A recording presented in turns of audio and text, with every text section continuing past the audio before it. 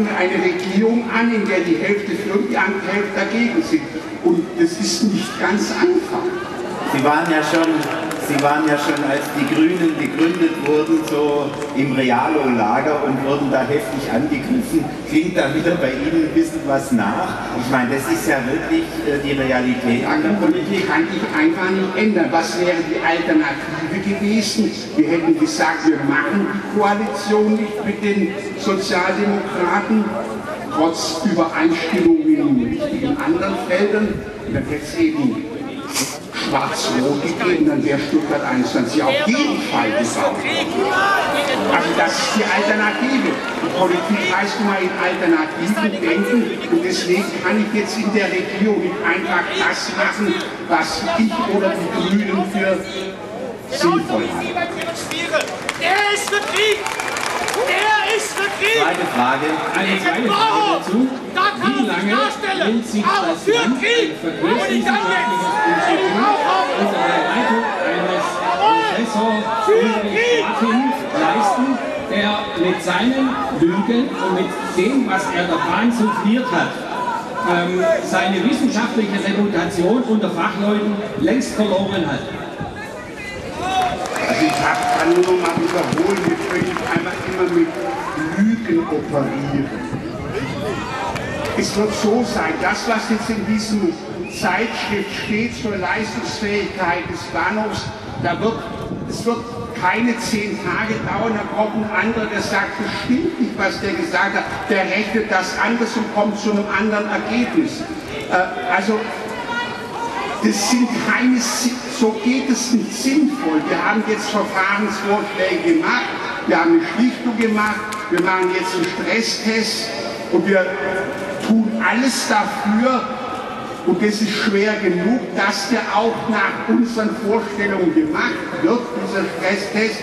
Darauf kommt es an, und wir können sozusagen jetzt nicht noch riesige Aktionen in die Vergangenheit äh, machen, was da alles falsch gelaufen ist, sondern wir müssen schauen, kommen wir weiter in die Zukunft.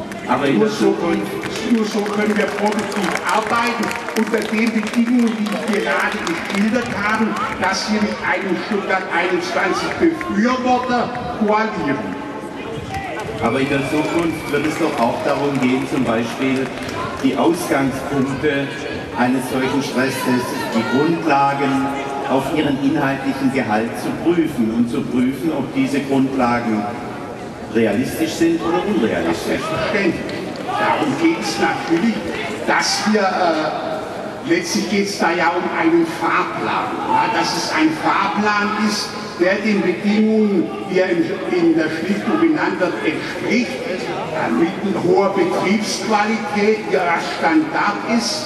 Äh, nur dann kann das akzeptiert werden und es muss sozusagen ein Fahrplan sein, ich sage mal vorsichtig, den das Land auch bestellen würde.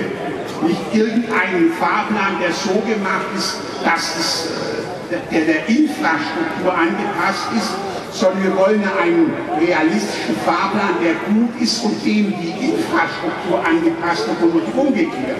Darum geht es. Das ist sozusagen der Konflikt.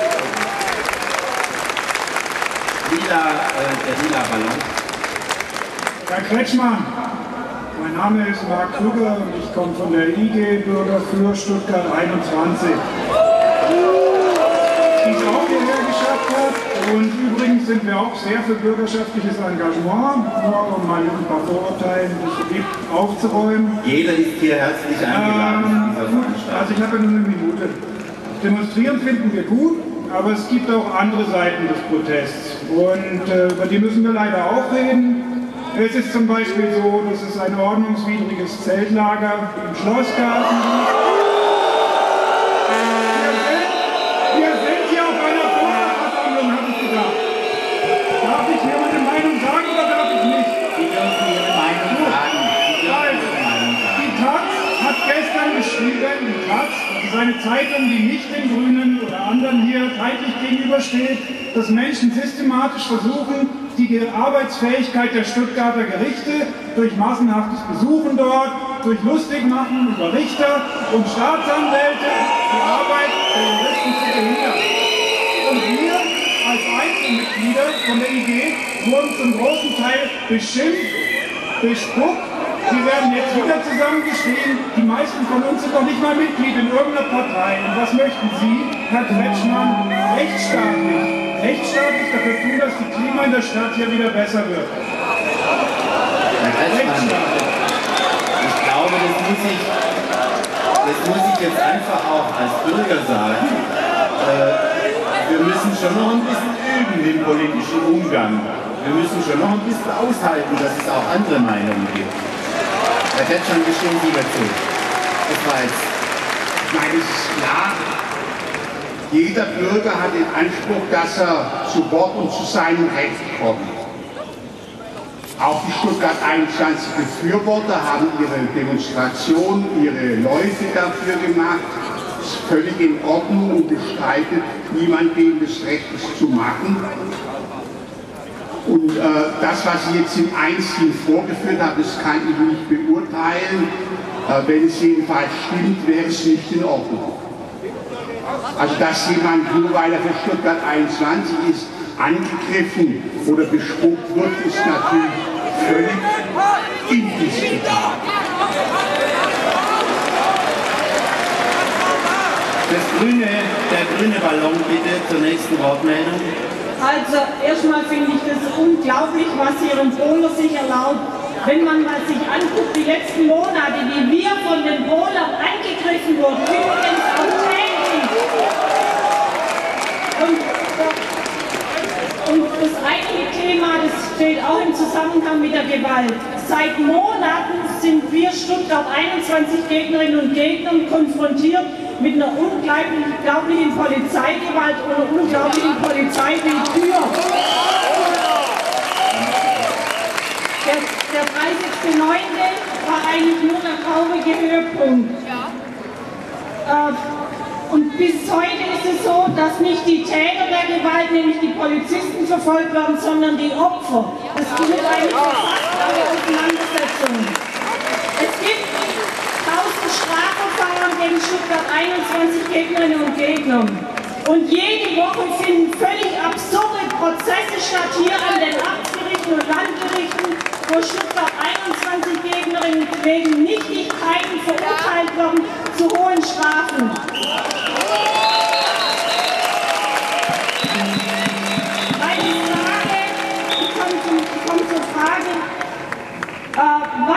Endlich eine Aufarbeitung vom 30.09., eine ehrliche Aufarbeitung, eine Wiedergutmachung für die Opfer?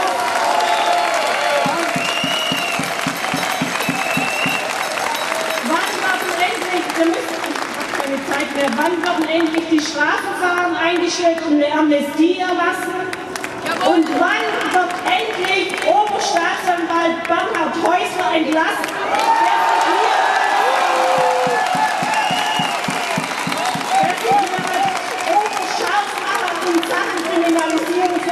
21 Gegnerinnen aufspielt.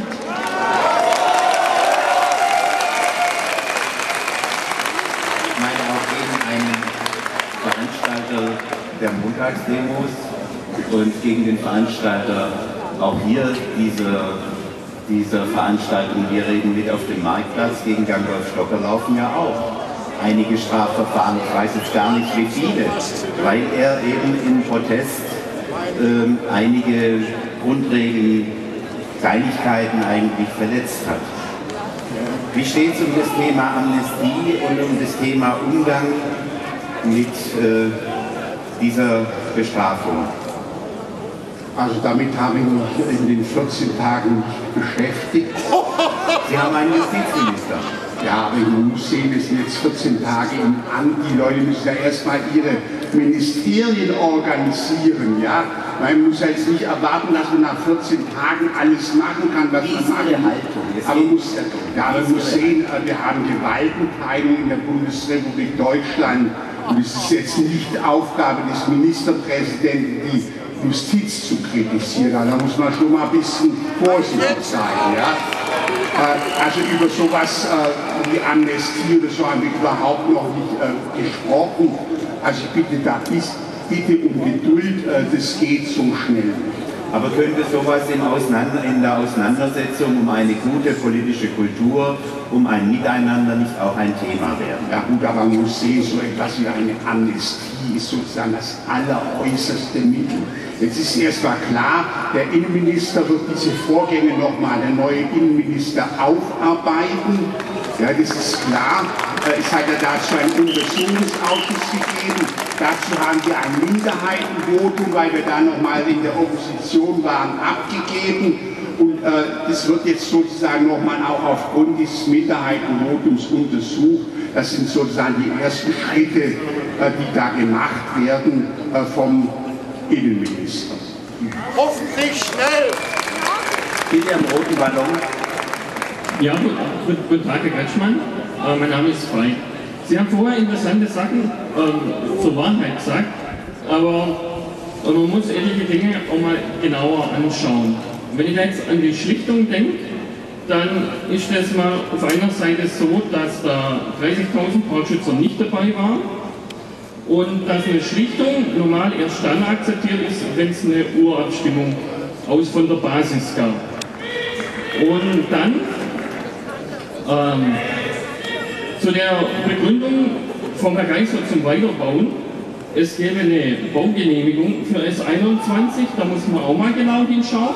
Es gibt die vom Tiefbahnhof und nochmal zwei andere Stücke, aber für das komplette S21 gibt es nämlich noch keine äh, Baugenehmigung und damit fällt eigentlich für mich die Begründung für das Weiterbauen zusammen. Und auch der Streit, wo jetzt momentan ist, über die Leistungsfähigkeit, da frage ich mich, warum ähm, man nicht in die Projektbegründung schaut. Da ist nämlich eine konkrete Zahl drin, 1134 Züge am Tag und daran müsste sich die Bahn durchmessen lassen. Und auch wenn jetzt die Bahn so auf ihre Rechtslage pocht, es, ich wollte eigentlich nur noch darauf hinzusagen, dass ähm, ähm, Sie sind jetzt irritiert, aber wir haben Ihre Frage gut verstanden. Es geht wirklich äh, nochmal um den Stresstest, der ja schon in einigen Variationen hier auf dem Tisch war und über die Zahlen und äh, wie Sie damit umgehen. Da wollen wir versuchen, wirklich nochmal, dass dieser Stresstest nach den Bedingungen, wie es in der Schlichtung genannt wurde, gemacht wurde. Ja? Darum geht es jetzt. Äh, da haben wir Kritik dran, äh, wie die Bahn das eingefällt hat. Es wird gerade diese Woche verhandelt, äh, auf was die Prämissen und die Eingaben sind. Man kann ja nur das testen, was man eingibt. Ne? Das sind wir also dabei. Alles die Fragen, die jetzt hier auch vorgebracht werden, sind uns ja alle klar und bewusst, äh, das so zu machen, dass das auch ein Stresstest ist, der akzeptiert wird. Das ist ja wichtig. Und es gibt nachher wieder einen riesen Streit darum. Äh, und dann hat er seine befriedigende Wirkung ja nicht mehr, wenn er sofort umstritten ist, wenn er wieder kommt. Und ich denke, auf der Grundlage äh, werden hoffentlich alle einsehen, dass man den nach vernünftigen verkehrstechnischen Eingaben machen muss. Wir haben hier eine spannende Veranstaltung, aber wir müssen jetzt leider zum Ende kommen, weil Ministerpräsident Kretschmann äh, heute noch einen Arbeitstag vor sich hat und äh, jetzt nicht in den Feierabend gehen will, sondern zum nächsten Termin muss. Deswegen sehen Sie es mir nach. Ich kann nur noch eine Frage zulassen am orangenen Ballon. Herr Ministerpräsident, ich, äh, meine Frage zielt auf was Elementares ab nicht zum Hauptthema heute Abend, und zwar den Frieden. Meine Frage ist, wie verhalten oder wie ist Ihre Haltung zu der Entscheidung damals in dem Krieg in Jugoslawien? Äh, Dürfte ich Sie fragen, äh, ich möchte, was das mit möchte Thema aber, heute zu tun hat? Ich möchte aber drei Dinge vorausschicken. Erstens, meine Frage ist nicht polemisch. Zweitens, ich weiß, dass Sie bekennender Christ sind. Und drittens, ich habe diese Frage im Landeswahlkampf in Ludwigsburg dem Herrn Schlauch gestellt und ich muss sagen, ich war enttäuscht, er hat es noch verteidigt. Da dann werden Sie von mir auch enttäuscht sein, denn ich verteidige den damaligen Beschluss auch. Gut, äh, dann lassen wir noch eine Frage zur Sache zu. Bitte. Am blauen äh, Ballon.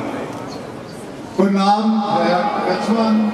Ähm, Sebastian Heinl von der Interessensgemeinschaft Bürger für Stuttgart 21. Ich habe eine Frage zu den Kosten. Und zwar zu den Ausstiegskosten sollte die Volksabstimmung im Herbst tatsächlich so ausgehen, dass, dass das Land aus Stuttgart 21 aussteigt. Ähm, Sie hatten letzte Woche in der Zeitung gesagt, dass nach einem Kassensturz das äh, Flächenland Baden-Württemberg auf dem 13. Platz, was die Schulden angeht, ähm, abgefallen ist. Wie können Sie in so einer prekären finanziellen Lage ähm, so einen Ausstieg einem Infrastrukturprojekt ähm, befürworten?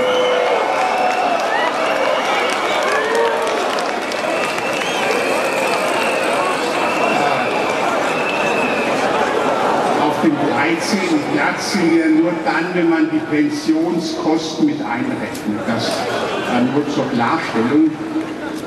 Ja, das Entscheidende ist, wir, jedenfalls die grüne Seite der Regierung, ist davon überzeugt, dass die Ausstiegskosten ja, die sind natürlich vorhanden, wenn unserer Ansicht nach auch weit nicht in der Größenordnung, wie waren Sie behauptet, dass es immer noch besser ist, diese Ausstiegskosten zu bezahlen, als in ein Projekt zu gehen, wo wir überzeugt sind, dass sehr, sehr viel teurer wird.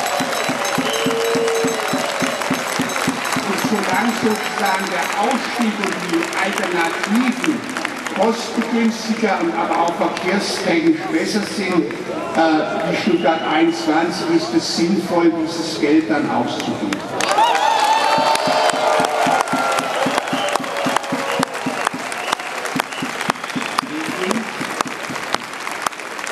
Wir sind jetzt am Ende dieser Premiere von Wir reden mit Volksversammlung auf dem Marktplatz. Welchen Eindruck nehmen Sie mit, Herr Ministerpräsident? Guten. Der wenige Eine guten. Meinen Sie, dass man sowas wieder mal mit Ihnen machen kann? Aber gern. Aber gern. Sie haben jetzt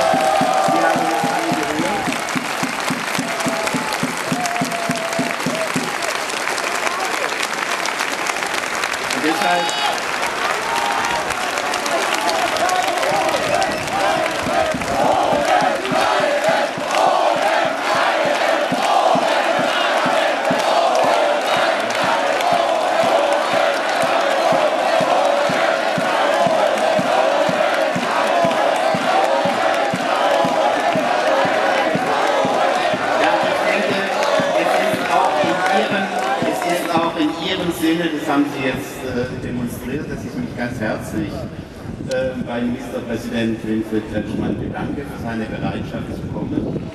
Das war neu und es war gut.